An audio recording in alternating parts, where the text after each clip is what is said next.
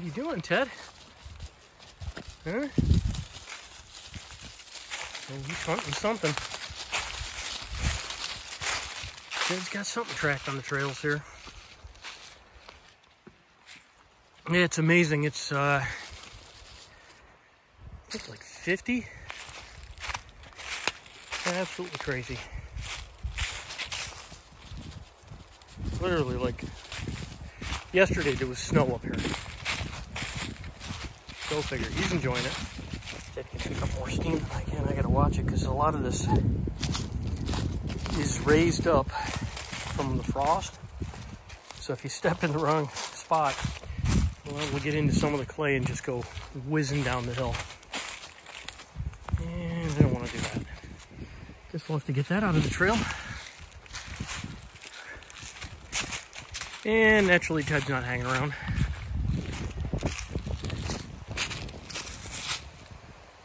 Jerry! Yeah. What do you think, Ted? Huh? Is that coyote poop? Yeah, get all that marked up. Good job. All right, he knows this trail pretty well. During the summer, we, we make this one a lot during lunch.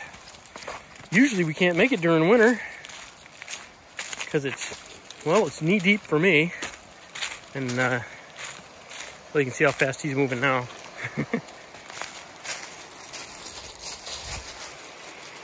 what, did you miss a spot, my man?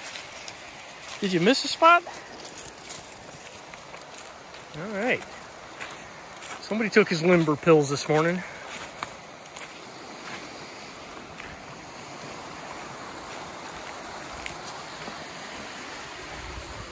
All right, see if I can get across the river quite that easily. Yep, fine.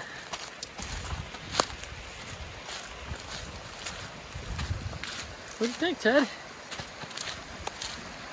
Yeah. A bit of a disaster here, hey buddy? So normally we'd walk down through there. That's not happening.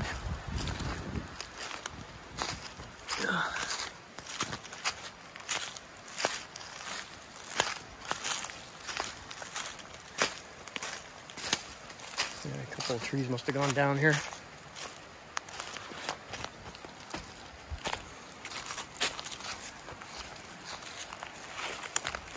All right.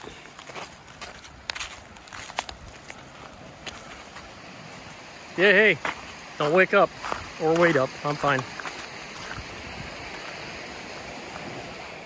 Jeez, so much for man's best friend. He's on his way home.